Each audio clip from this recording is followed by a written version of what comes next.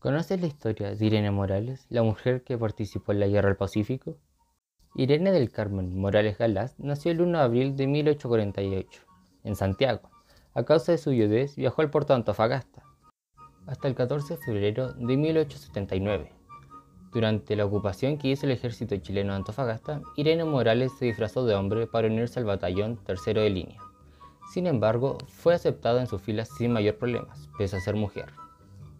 De eso participó en Fusil en Mano, durante el desembarco de Pisagua y el combate de Dolores. Una vez terminada la batalla, se preocupó de la atención de los enfermos y heridos. Combatió en la batalla de Tarapacá, en la batalla del Campo de la Alianza y también participó en el asalto al Morro Arica. Falleció el 25 de agosto de 1930 de una pulmonía y en completo anonimato.